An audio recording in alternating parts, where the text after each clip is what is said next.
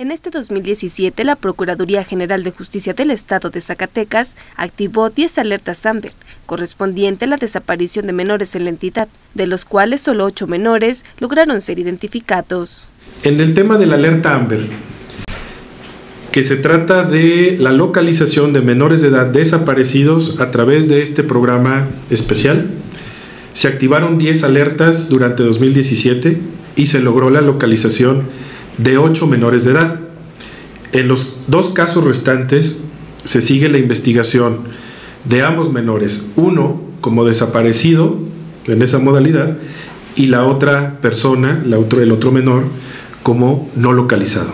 Además, más de 1.200 vehículos fueron reportados como robados, de los cuales el 55.8% fueron recuperados. Respecto al tema de extorsiones, principalmente en secuestros virtuales, se identificaron a 79 personas víctimas de este delito.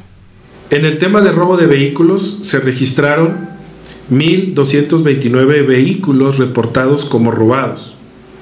Se lograron recuperar 686 lo que implica un índice de recuperación del 55.8%. Con imágenes de Gerardo Sosa, Alejandra Castañeda, Noticieros Televisa.